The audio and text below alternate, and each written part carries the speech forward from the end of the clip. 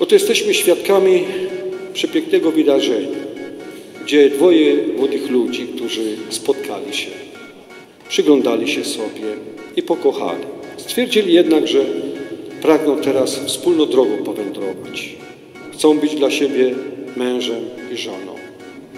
Tak pięknie właśnie tata pani młodej przyprowadził młody do młodego, przekazał mu, jak gdyby przekazując największy skarb, składając swoją córkę w ręce młodego.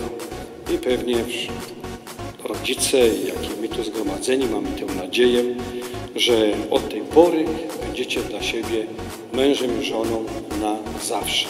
Chcę zaznaczyć, że my jako świadkowie jesteśmy tego wydarzenia, że jesteście dla siebie mężem i żoną.